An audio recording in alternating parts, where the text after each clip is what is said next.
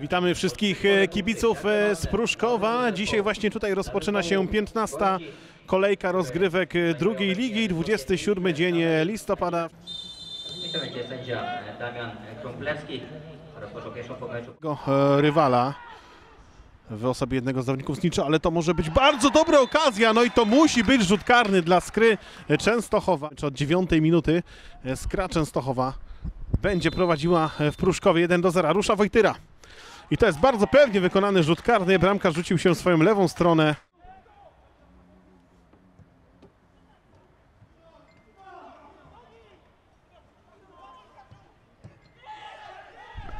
Co się teraz e, działo niesamowitego pod bramką Znicza?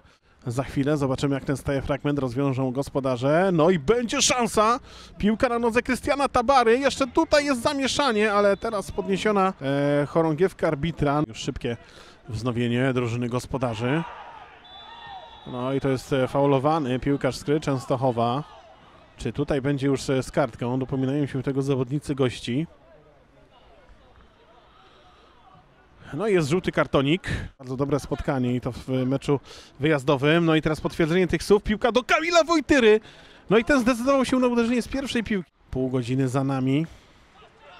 No i Częstochowianie cały czas przy piłce. Bardzo dobra piłka. Na lewą nogę Piotrek Nocoń, ale ponad bramką. Piłki. I kto wygra ten pojedynek główkowy? To była świetna okazja. Będzie jeszcze jedna. Jest 2 do 0. Ależ piękna ta akcja Skry Częstochowa, no to musiało się skończyć bramką. 33 minuta. Przejmie to piłka Adam Olejnik, jak teraz gra szybko do środka, to będzie szansa na uruchomienie. Wyjście 3 na 3, e, przejmuje piłkę Piotrek e, Nocoń. Nocoń już w polu karnym, Nocoń e, drybluje, przekłada. Ależ to mogła być bramka w Skry, no ale ta akcja trwa do Adama Mesjasza. Ta piłka jeszcze mają Częstochowianie.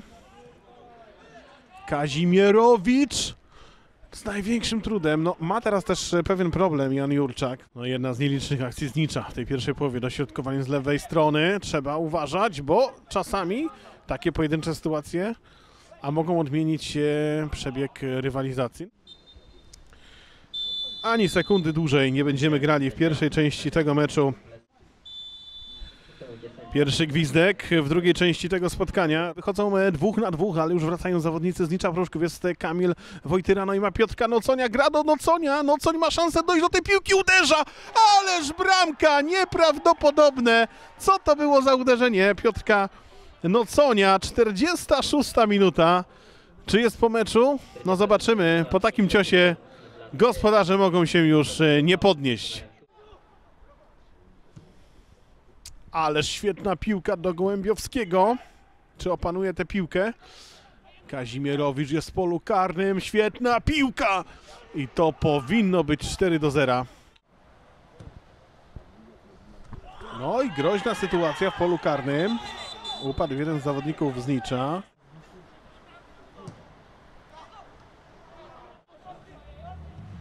E, Piotrek Nocoń, wrzutka w pole karne. No i jest szansa dla Częstochowian. Tę piłkę ma Adam Olejnik. Dobre uderzenie, będzie szansa na dobitkę i to jest gol!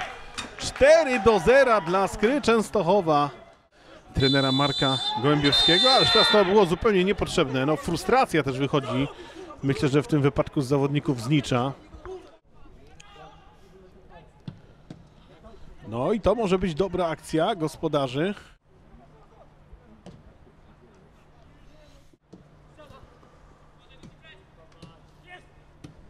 Ładnie teraz grają piłką Częstochowianie. Bardzo dobra piłka do Warneckiego. Wyjdzie sam, ale no i dobije i będzie miał swoje trafienie Damian Warnecki. Ależ błąd tutaj bramkarza Znicza Pruszków. No to już doliczony czas gry, 91 minuta. Zakończył męki drużyny gospodarzy. Sędzia Damian Wróblewski w tym momencie. No bo mogą być załamani dzisiaj gospodarze. Przegrywają na własnym terenie 0 do 5. No przyznam szczerze, że ten wynik wygląda wręcz nieprawdopodobnie. Myślę, że tego nikt się nie mógł spodziewać. Skra była lepsza pod każdym, e, w każdym elemencie piłkarskiego rzemiosła. To zwycięstwo ani przez chwilę Skry nie było zagrożone. Pełna kontrola nad meczem. Dwie bramki Kamila Wojtyry, dwie Piotrka Noconia i jeszcze w tym doliczonym czasie gry piąte trafienie dołożył Damian Warnecki.